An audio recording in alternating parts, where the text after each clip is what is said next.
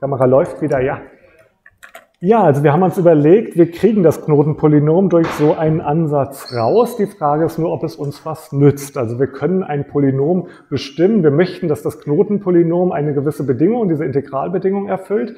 Wir finden durch diesen Ansatz zumindest lineare Gleichungen für die Koeffizienten eines Polynoms. Wahrscheinlich finden wir auf diese Art und Weise sogar ein Polynom, was diese Gleichung erfüllt. Die Frage ist, taugt das Polynom, was da rauskommt, als Knotenpolynom? Also hat das Polynom Nullstellen, die wir dann auch als Knoten verwenden können? Hat das Ding reelle Nullstellen? Stellen, hat das Ding Nullstellen, die dann auch in dem Intervall a bis b, wo wir die Funktion auswerten können, liegen.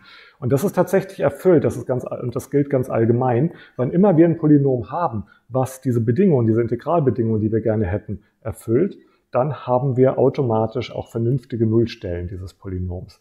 Also Satz 1.17, angenommen, wir haben ein Polynom und dieses Polynom, das soll sein, ja, von der Form Omega von x gleich x hoch m, also Höchstkoeffizient gleich 1, plus irgendetwas, was dann entsprechend kleineren Grad hat. Also wir haben hier ein Polynom aus dem Polynomraum Pm und das hat auch echt Grad m, also das heißt, es liegt nicht im Polynomraum m minus 1.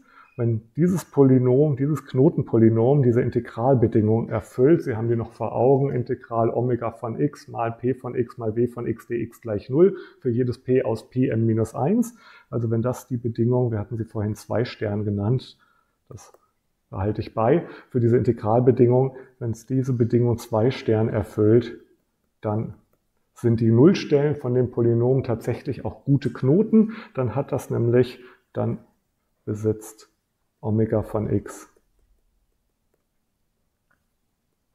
Nämlich reelle und paarweise verschiedene Nullstellen.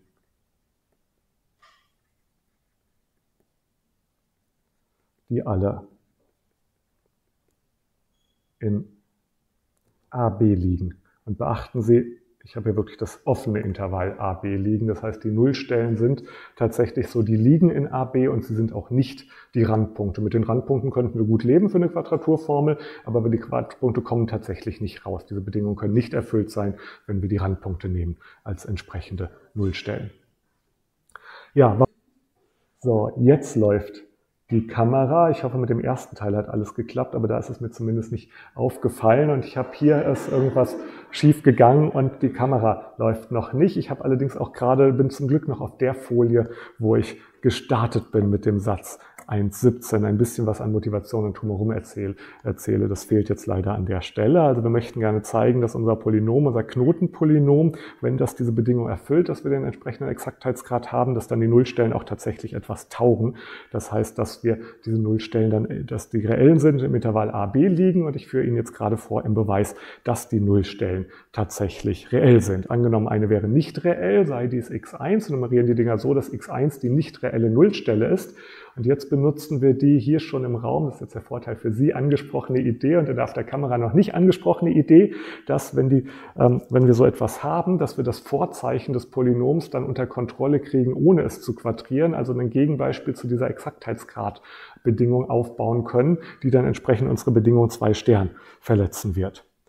Ja, wie kriegen wir das hin? Gucken wir uns das Polynom nochmal an. Unser Omega von x, das Knotenpolynom, was wir, mit dem wir gestartet sind, ist ein reelles Polynom. Pm ist in dieser Vorlesung immer definiert als Raum der Polynome mit reellen Koeffizienten. Und wenn Sie an den naheliegenden Ansatz von vor der Pause denken, dann setzen Sie entsprechend Ihr Knotenpolynom. Sie suchen ja reelle Knoten, also wäre es dämlich, ein Polynom mit komplexen Koeffizienten anzusetzen. Setzen sich ein Polynom mit reellen Koeffizienten entsprechend an.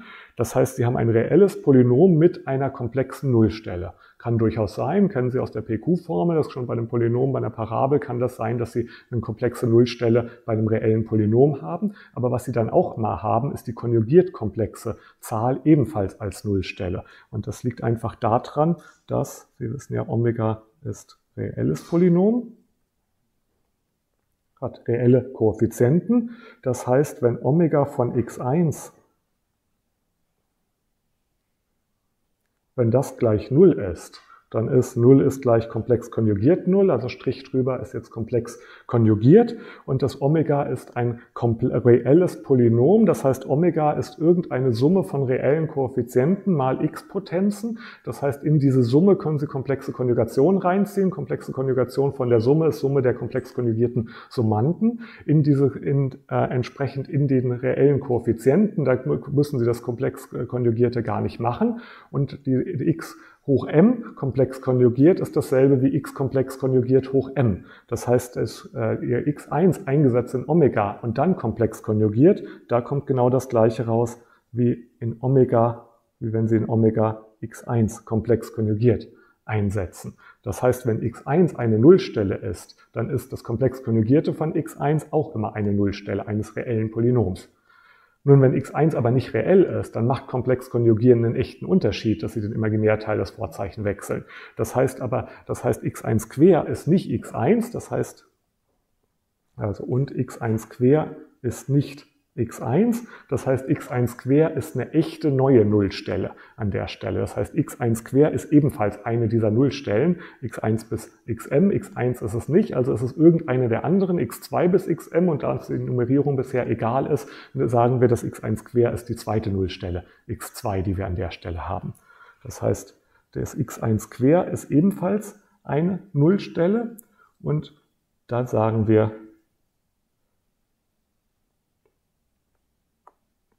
Also hieraus folgt x1 quer ist ebenfalls Nullstelle.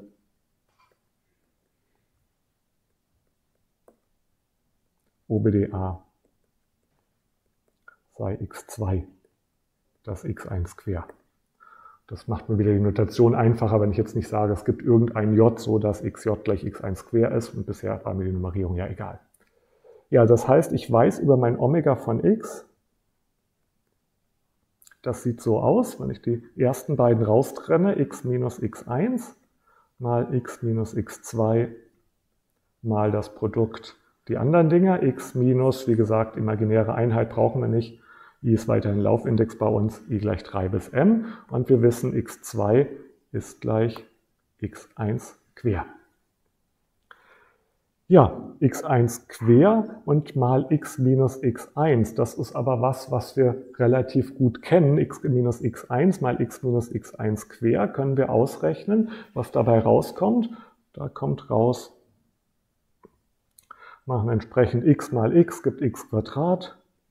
Dann haben wir minus x mal x1 quer und minus x1 mal x das gibt entsprechend, wenn das x nur eine reelle Zahl ist, ist x mal x1 quer und x äh, und x mal x, also x mal x1 und x mal x1 quer ist gerade das komplex konjugierte voneinander, weil x selber ist reell, ist x die Variable, die Sie ins Polynom einsetzen, da werden Sie nur reelle Zahlen einsetzen. Das heißt, was hier rauskommt, ist x Quadrat minus 2 mal Realteil x1 mal x und dann plus x1 quer mal x1 gibt also x1 Betrag zum Quadrat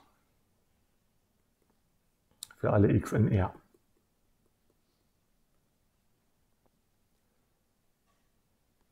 Ja, und das heißt, was hier rauskommt, das heißt, das, was hier steht, das ist auf jeden Fall schon mal ein Polynom mit reellen Koeffizienten.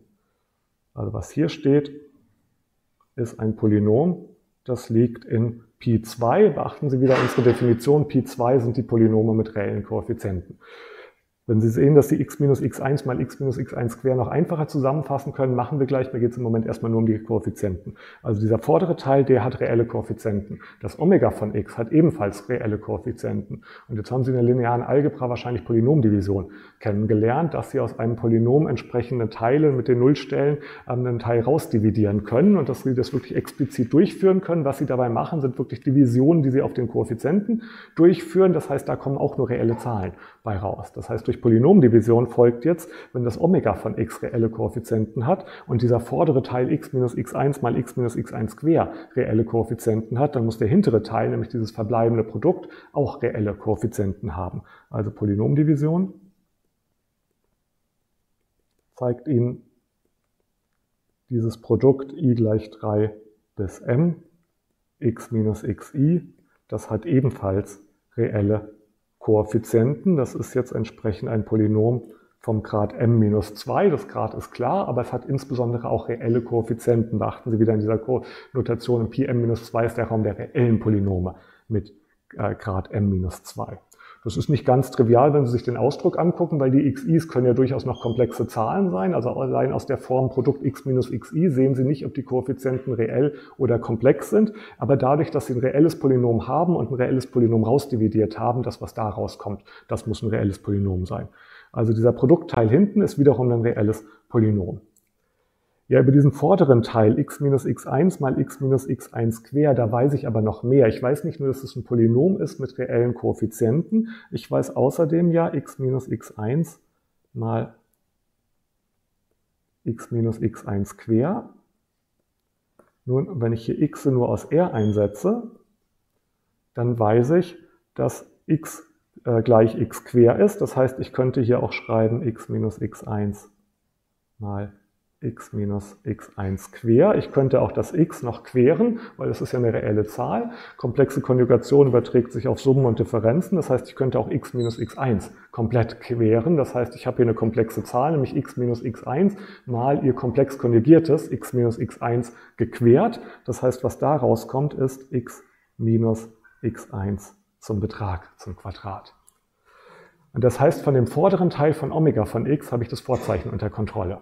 Und jetzt kann ich diese Idee verwenden. Ich weiß, Omega Quadrat kann nicht exakt integriert werden, weil, das weil ich da das Vorzeichen unter Kontrolle habe. Es steckt das Notenpolynom mit drin, deswegen ist Integral, deswegen ist Quadraturformel gleich Null und ich habe das Vorzeichen unter Kontrolle. Es ist größer gleich Null, aber nicht die Nullfunktion, deswegen kann das Integral nicht Null sein.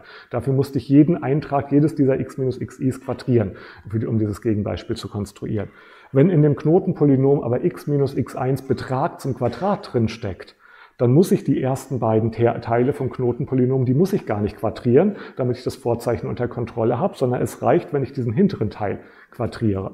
Das heißt, wenn mein Knotenpolynom so aussehen würde, dann wäre dieses Knotenpolynom mit vorderer Teil so gelassen, ersten beiden Faktoren, hinteren Faktoren alle quadriert, wäre ein Gegenbeispiel zu meinem Exaktheitsgrad. Und dann hätte ich ein Polynom raus, da steckt Omega von x mit drin. Also wir nehmen uns Omega von x mal diesem hinteren Teil, damit die hier alle quadriert sind. Also Omega von x mal dem Ding, was ich gerade blau unterstrichen habe, ist ein Polynom vom Grad, was haben wir dann, Pm und Pm minus 2, also vom Grad Pi 2m minus 2, da, bei dem ich das Vorzeichen unter Kontrolle habe. Es ist größer gleich 0.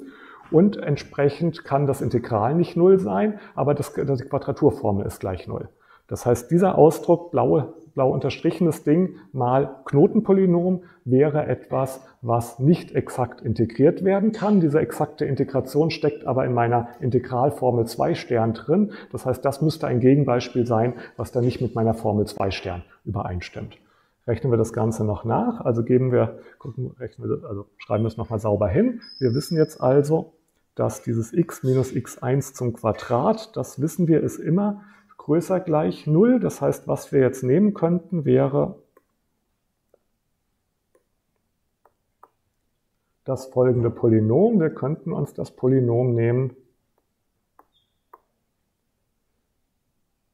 Omega von x mal Produkt i gleich 3 bis m x minus xi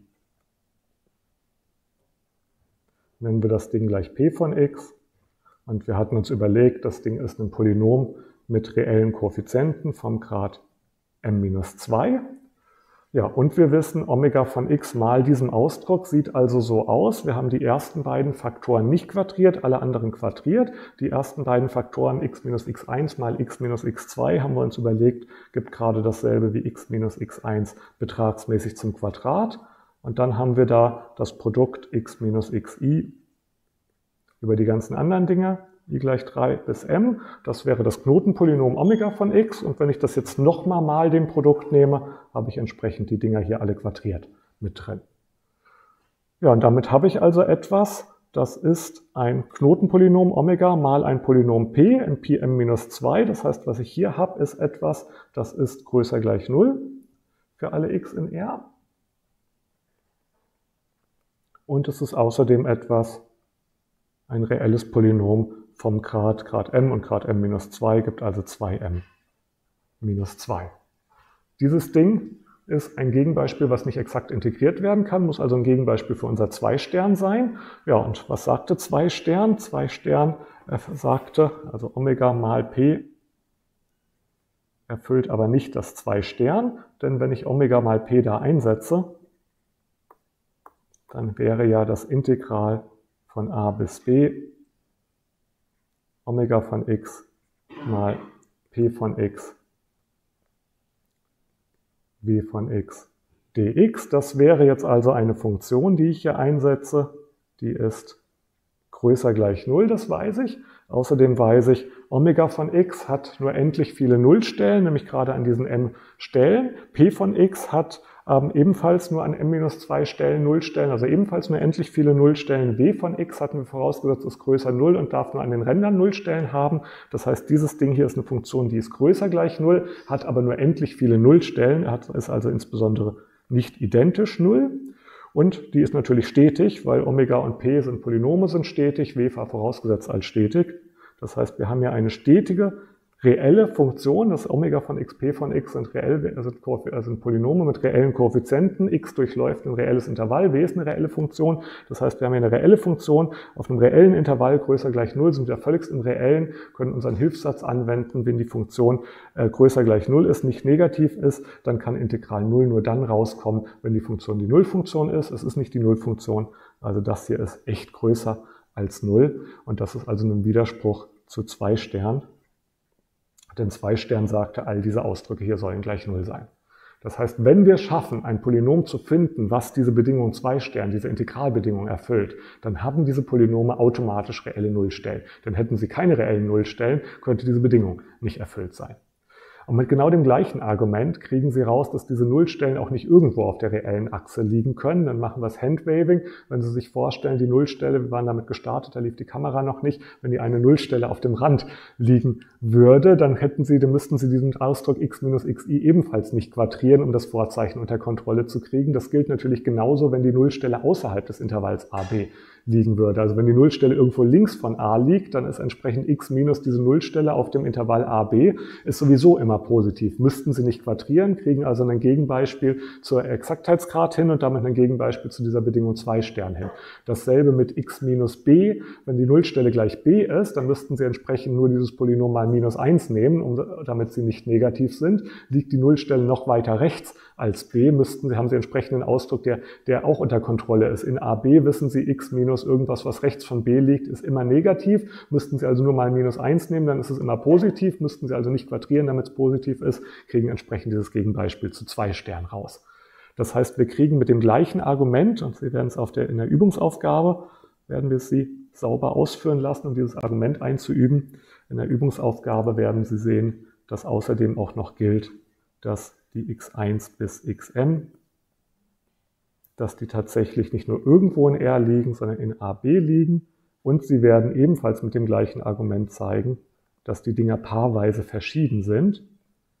Denn auch das gilt wieder mit demselben Argument, wenn Sie zweimal die gleiche Nullstelle haben. Wenn x1 und x2 die gleiche reelle Nullstelle ist, dann ist x minus x1 mal x minus x2 gleich x minus 1 Quadrat. Das heißt, da haben Sie das Vorzeichen unter Kontrolle. Den Teil müssen Sie nicht quadrieren, haben Sie das gleiche Argument wie eben, dass Sie dann zwei Sterne verletzen würden. Ja, und das heißt, wir haben tatsächlich, wenn wir es schaffen, also es ist immer noch nicht ganz klar, ob wir diese Bedingung erfüllen können. Wir haben uns überlegt, wir können das Polynom in Koeffizientenform ansetzen, haben wir m-lineare Gleichungen für m-Unbekannte, haben eine Chance auf Lösbarkeit. Ähm, ob sie lösbar sind oder nicht, müssen wir uns noch überlegen. Aber wenn wir es schaffen, so ein Polynom zu finden, was diese Bedingung erfüllt, dann wissen wir, die Nullstellen von dem Polynom taugen auch als Knoten von der Quadraturformel, sind nämlich liegen alle im richtigen Intervall. Und wir wissen, die Knoten geben uns dann auch eine perfekte äh, Quadraturformel, nämlich eine mit Exaktheitsgrad 2m-1. Wenn wir diese Knoten nehmen und die Gewichte dann zu diesen Knoten, die Knoten müssen zuerst gewählt werden, wenn wir diese Knoten wählen und dann als Gewichte diese Integral-LI-Formeln benutzen, dann kriegen wir tatsächlich eine Quadraturformel raus mit dem bestmöglichen Exaktheitsgrad 2m-1. Ja, was immer noch offen ist, können die, also existieren die Dinger überhaupt? Also haben wir eine Chance auf Lösbarkeit dieser linearen Gleichungen? Gibt es solche Funktionen? Und da hilft uns eine, eine komplett andere Sichtweise auf diese Dinge. Und diese Sichtweise, die probiere ich die ganze Zeit schon so ein bisschen mit vorzubereiten. Ähm, es hat uns ja schon, schon häufiger genützt, dass wir sagen, Polynome sind ein Vektorraum hat uns nämlich genützt an der Stelle, dass wir sagen konnten, wir konnten ganz viele Dinge einfach auf einer Basis nachrechnen. Lineare Funktionale auf einem Vektorraum stimmen dann überein, wenn sie auf einer Basis übereinstimmen. Deswegen konnten wir damit, das konnten wir ausnutzen mit dieser Basis der Lagrange'schen Grundpolynome. Das hat uns die Formel für die WEs gegeben. Das können wir ausnutzen, zum Beispiel um diese Bedingung zwei Sternen, dass wir die nur auf Monomen nachrechnen müssen. Also Basisbegriff hat uns schon enorm genützt und der Basisbegriff kommt eigentlich aus der Geometrie. Eigentlich sagen wir im Dreidimensionalen können Sie jeden Punkt dadurch festlegen, dass Sie sagen, wie viel gehe ich nach rechts, wie viel gehe ich nach vorn, wie viel gehe ich nach oben. Dann kann ich jeden Punkt im Raum entsprechend erreichen. Ich nicht, weil ich nicht nach oben kann, aber eine Drohne könnte das. Hm, also das heißt, und das ist, die, das, das ist entsprechend der Basisbegriff. Sie kriegen alles durch diese drei Dinger entsprechend als Linearkombination von nach rechts gehen, nach vorne gehen, nach oben gehen beschrieben. Und diese Idee, dass Sie jedes, jeden Punkt im Vektorraum erreichen, indem Sie entsprechend das aus Basiselementen kombinieren, ist genau die Idee, dass wir jedes Polynom aus Monomen äh, zusammensetzen können in der Linearkombination. Jetzt bringen wir noch einen weiteren geometrischen Begriff mit rein. Wir bringen nämlich die Orthogonalität an der Stelle mit rein. Bemerkung 118, diese komische Bedingung, die da steht. 118. Unter zwei Sternen haben wir es genannt. Die Durchnummerierung hatten wir im Skript in der Vorlesung, jetzt hatten wir es immer als zwei Stern bezeichnet, also unser Integral ähm, Omega von x mal p von x, w von x gleich 0 für alle p in Pm minus 1. Das lässt sich ebenfalls geometrisch interpretieren und es ist nützlich, das so zu interpretieren. Das lässt sich nämlich als Orthogonalität interpretieren.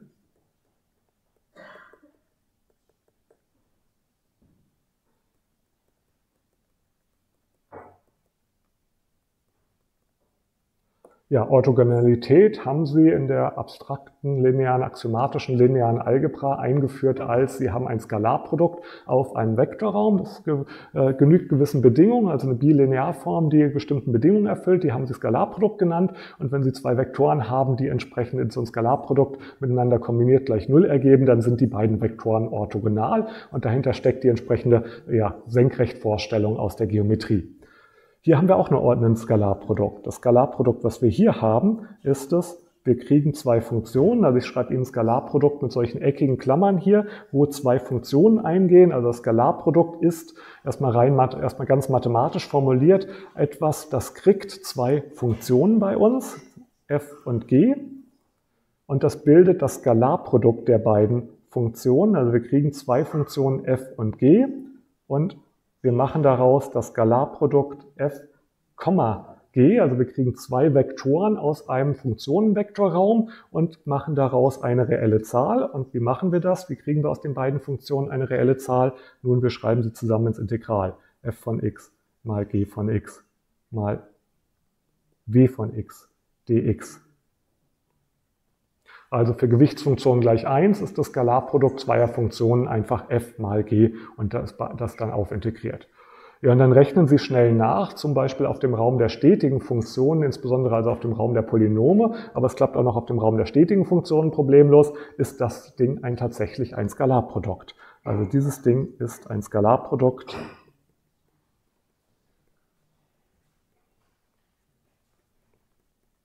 auf dem Vektorraum der stetigen Funktion auf AB. Kriegen Sie leicht nachgerechnet. Symmetrie haben Sie offensichtlich. F und G können Sie vertauschen. Bilinearität haben Sie offensichtlich. Wenn Sie links ein F1 plus F2 einsetzen, kriegen Sie es aus dem Integral raus. Rechts entsprechend bei dem G genauso. Äh, skalare Vielfache von F kriegen Sie rausgezogen.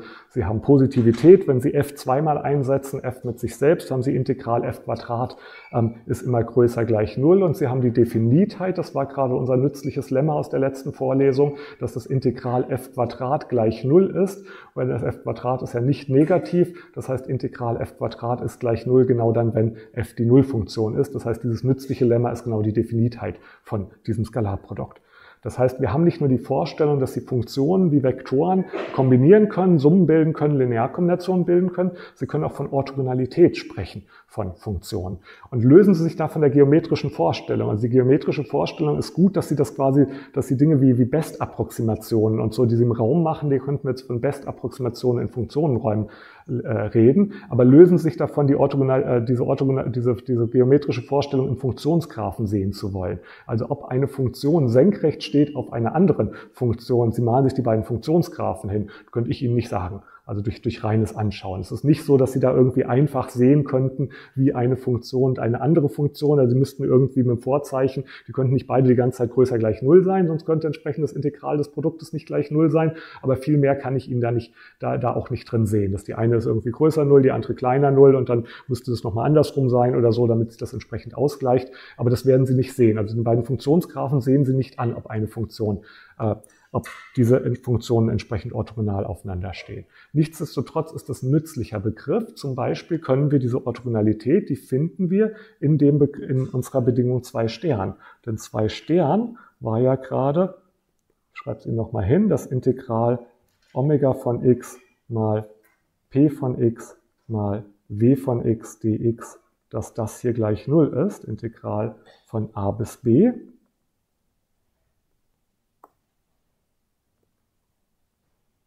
Das war ja unsere Bedingung 2 Stern. Naja, und was dieser lange Integralausdruck, das ist ja nichts anderes als Omega und P zusammen in ein Integral geschrieben und in dem Integral steht immer noch diese Gewichtsfunktion mit drin.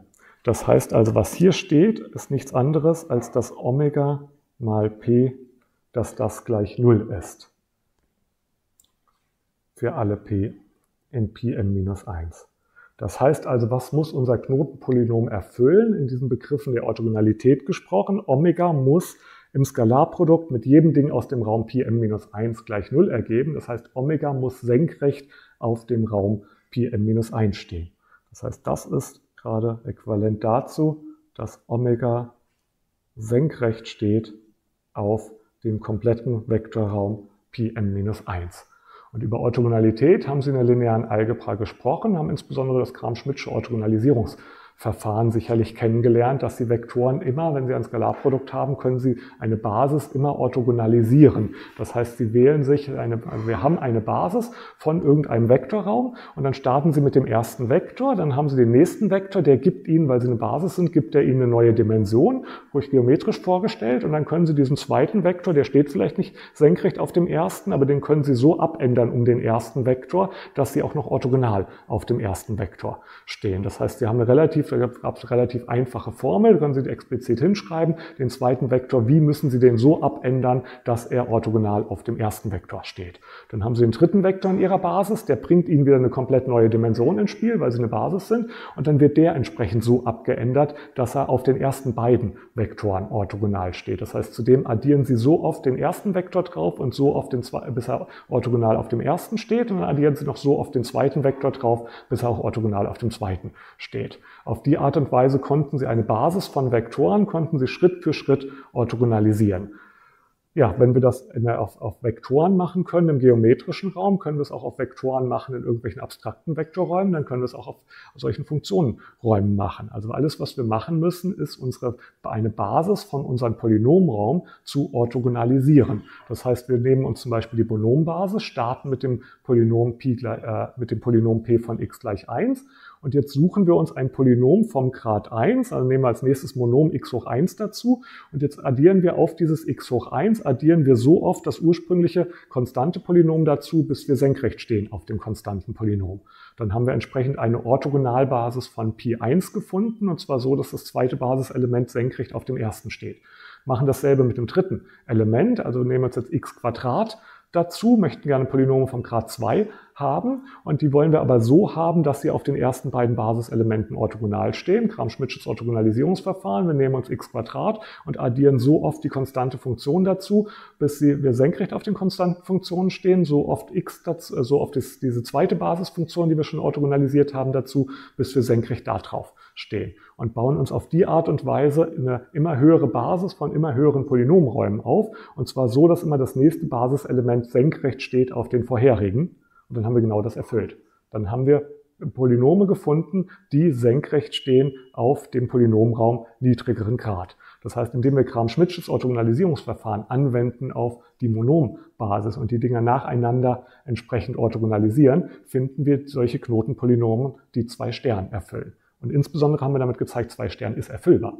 Das, was vorher nicht klar war, kriegen wir solche Polynome überhaupt? Lineares Gleichungssystem, ich habe es Ihnen keine, nicht in Matrixform geschrieben, Sie werden der Matrixform auch nichts ansehen, ob es lösbar ist oder nicht. Ist nicht so einfach wie bei der Van der Waal-Determinante. Also lineares Gleichungssystem, gleich viele Gleichungen wie Unbekannte, muss nicht unbedingt lösbar sein. Dass diese zwei Bedingungen zwei Stern, dass dieser Exaktheitsgrad 2m minus 1 überhaupt erreichbar ist, ist, bis da, ist also bis jetzt noch nicht klar. Aber Kram-Schmidtsches Orthogonalisierungsverfahren funktioniert immer. Das heißt, zwei Stern ist erfüllbar, weil es ist Orthogonalität und Kram-Schmidtsches Orthogonalisierungsverfahren funktioniert. Das heißt also, wir können die Dinge einfach dadurch finden,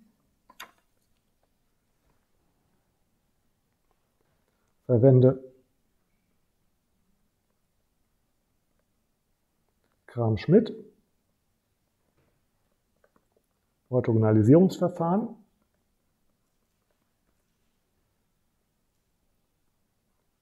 Um beginnend mit Omega 0 gleich 1 eine Folge zu konstruieren, Omega m, jeweils in Pm ohne Pm minus 1 zu konstruieren.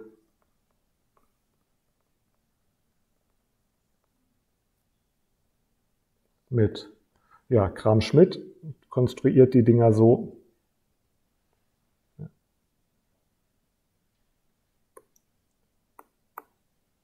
Kram-Schmidt konstruiert die Dinger ja immer so, dass Omega m senkrecht steht auf allen vorherigen Basisvektoren. Das heißt also, wir haben hier Omega m senkrecht auf Omega j für alle j gleich 0 bis n minus 1.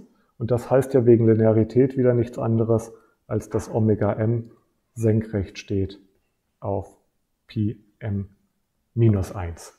Das heißt, auf die Art und Weise finden wir einfach durch Orthogonalisierung und betrachten die Polynome einfach nur noch als abstrakte Vektoren. Skalarprodukt da drauf ist, die Dinger zusammen ins Integral zu schreiben. Dann nehmen Sie sich die Formeln aus dem Kram-Schmidtschen Orthogonalisierungsverfahren aus der linearen Algebra und bestimmen sich nacheinander Polynome immer höheren Grades, die entsprechend diese Orthogonalitätsbedingung erfüllen. Und schon haben Sie Ihre Knotenpolynome gefunden. Wenn Sie von diesen Polynomen die Nullstellen nehmen, dann haben Sie die perfekten Quadraturverfahren, die nämlich tatsächlich Exaktheitsgrad 2m-1 erreichen. Die Knoten Knoten können Sie auch nutzen, die sind reell, die liegen in einem richtigen Intervall, die sind paarweise verschieden und Sie kriegen damit den tatsächlich höchstmöglichen Exaktheitsgrad raus. Das heißt also, was auf die Art und Weise kriegen wir für jedes m, egal wie hoch Sie das Ganze treiben wollen, also für alle m erhalten wir alle natürlichen Zahlen, erhalten wir so Knotenpolynome Omega m der Nullstellen als Knoten.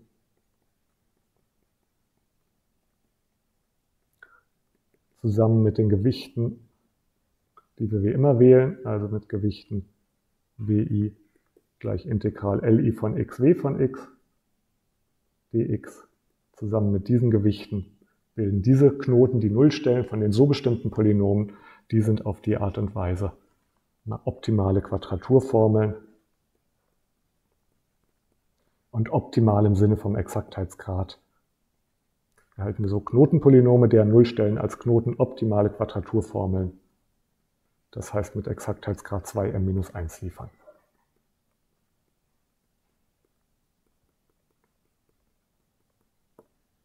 Das heißt, auf die Art und Weise haben wir wirklich den Exaktheitsgrad maximal hochgetrieben. 2m können wir niemals erreichen. Knotenpolynom zum Quadrat kann keine Quadraturformel der Welt jemals exakt integrieren. Aber Grad 2m minus 1 erreichen wir tatsächlich. Alles, was wir dafür machen müssen, ist diese Knotenpolynome so zu wählen, dass sie senkrecht stehen auf den entsprechenden Polynomen kleineren Grades mit Kram-Schmidtscher Orthogonalisierung. Das heißt, es geht tatsächlich. Das heißt zum Beispiel, unsere Trapezformel ist ja eine Formel mit zwei Punkten. Die ist nicht optimal in dem Sinne. Also Trapezformel ist nicht optimal. Ähm, weil wir, da haben wir mit zwei Punkten tatsächlich nur Exaktheitsgrad 1. Das entspricht gerade dem, was man durch die Polynominterpolation erwarten würde. Aber mit dem, was wir gerade gezeigt haben, ähm, wissen wir, es gibt auch zwei Knoten, es gibt auch zwei, also es gibt auch die Möglichkeit, zwei Punkte im Intervall a, b zu wählen, sodass wir als Grad ähm, 2 mal m minus 1, also 2 mal 2 minus 1, 4 minus 1 gleich 3 erreichen könnten. Das heißt, Trapezformel kann nur Grad 1 exakt integrieren, aber es gäbe zwei Punkte irgendwo im Intervall a, b, mit dem wir tatsächlich Exaktheitsgrad 3 hinkriegen würden. Simpson-Formel genauso mit drei Punkten. Mit drei Punkten haben wir Exaktheitsgrad ähm, nicht nur zwei, sondern wegen der Symmetrie sogar drei. War schon ein bisschen besser, als wir durch Polynominterpolation erwarten würden. Es geht aber noch besser. Man kann diese drei Punkte auch so wählen, dass wir entsprechend Exaktheitsgrad 2 mal 3 minus 1 gleich 5 erreichen. Also wir kriegen mit der Simpson-Formel, kriegen wir nur Exaktheitsgrad 3 raus, das war schon ganz gut, aber es ist sogar Exaktheitsgrad 5 möglich. Die Frage ist nur, wie sehen diese Knoten dann wirklich aus? Und was müssen wir dafür machen? Und wir haben also, wir haben eine Methode, die jetzt vor uns liegt. Wir müssten entsprechend unsere Polynome ausrechnen. Also wir starten mit Polynom 1, einfach, einfach konstantes Polynom. Dann nehmen wir uns entsprechend x, das nächste Monom, plus irgendwelche Vielfachen von 1. Und diese Vielfachen bestimmen wir so, dass, dass unser x plus Vielfache von 1 senkrecht steht auf der 1. Und zwar senkrecht in dem Sinne, dass zusammen ins Integral geschrieben wir entsprechend gleich 0 rausbekommen. Dann kriegen wir ein Polynom ersten Grades raus. Dessen Nullstelle ist die perfekte Quadraturformel mit einem Knoten. Dann machen wir dasselbe mit dem Polynom zweiten Grades. Nehmen x Quadrat plus so viel Vielfache mal 1, dass, dass es darauf senkrecht steht, plus Vielfache, so viel Vielfache unseres gerade bestimmten Polynoms Omega 1, äh, so dass es darauf auch senkrecht steht. Dann haben wir entsprechende Parabel raus und deren Nullstelle müssten wir ausrechnen und, müssen, und würden damit die zwei perfekten Knoten rauskriegen, mit denen wir eine Quadraturformel, Form, was hatten wir gerade ausgerechnet, Exaktheitsgrad 3 tatsächlich erreichen könnten und nicht nur Exaktheitsgrad 1. Ja, und das Ganze werden wir durchführen. Ich werde es Ihnen mit diesem Verfahren zeigen, dann Stück weit, und dann werde ich Ihnen zeigen, zumindest für den wichtigen Fall, dass wir Gewichtsfunktion gleich 1 haben. Da gibt es noch eine sehr elegante und weitreichende und tiefliegende Möglichkeit, wie wir tatsächlich diese Knoten und Gewichte sehr, sehr schnell und sehr, sehr effizient ausrechnen können, ohne diesen langen Weg zu gehen, also ohne wirklich mit dem Gram-Schmidtschen Orthogonalisierungsverfahren die Polynome auszurechnen, dann die Nullstellen der Polynome auszurechnen. Das wäre ich Ihnen sowieso noch schuldig, wie man das macht. Das können wir tatsächlich umgehen, für, zumindest für Gewichtsfunktion 1 durch eine sehr elegante Art und Weise. Das letzte noch für diese Vorlesung, damit das Wort einmal mit dran steht, dass nämlich die, die Formeln, die hier rauskommen, diese so konstruierten Verfahren, die heißen die sogenannten Gauss-Quadraturformeln oder Gauss Verfahren, also die mit höchstmöglichem Exaktheitsgrad. Und das allerletzte, was ich heute Ihnen noch kurz ansprechen wollte, möchte, Bemerkung 1.19. Was wir gemacht haben, war immer unter der Voraussetzung, dass wir eine Gewichtsfunktion haben, die stetig war nicht und nicht negativ war und im Innern des Intervalls sogar echt positiv war. Das Ganze hatten wir benutzt. Also wenn wir jetzt drauf schauen, wo haben wir diese Bedingungen gebraucht? Die Positivität haben wir an ganz, ganz vielen Stellen gebraucht und insbesondere da, wo dieses Integral über irgendetwas nicht Negatives integriert, gibt gleich Null, genau dann, wenn die eingesetzte Funktion gleich Null ist. Das Ganze würde kaputt gehen, wenn die Gewichtsfunktion w negativ wäre, weil dadurch dann Teile unterhalb der Null auftauchen könnten. Das heißt, auf die Nicht-Negativität können wir nicht verzichten, aber man kann zeigen, dass alles, was wir bisher gemacht haben, also alle Ergebnisse gelten auch, wenn wir abschwächen, wenn W weiterhin nicht negativ ist, aber statt Stetigkeit reicht integrierbar, wenn wir zusätzlich noch fordern. Und die Nullstellen dürfen nicht nur am Rand sein, sondern auch im Inneren sein, also und nicht wie nicht negativ integrierbar und nur endlich viele Nullstellen besetzt.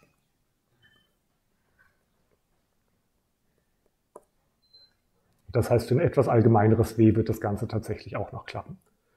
Ja, und wie das Ganze aussieht für den wichtigsten Fall, nämlich ihre Gewichtsfunktion gleich eins und insbesondere, wie wir denn statt der Trapezformel, wo wir diese Punkte denn wählen sollten, das ist der erste nicht triviale Fall, was denn besser ist, als die beiden Randpunkte zu wählen. Bei einem Punkt ist klar, den legen wir in die Mitte, bei zwei Punkten, naja, vielleicht ist es besser, die ein bisschen näher an die Mitte zu legen, aber wie nah sollten wir die dann an die Mitte legen? Ganz nah beide in die Mitte ist natürlich Unsinn, also so ein Stück weit müssten wir von der Mitte entfernt, ganz außen ist aber auch nicht optimal, also wo ist der optimale Mix zwischen diesen beiden Dingen, damit wir tatsächlich Exaktheitsgrad 3 mit zwei Punkten hinbekommen. Das überlegen wir uns dann nächste Woche. Ich danke Ihnen fürs Zuhören.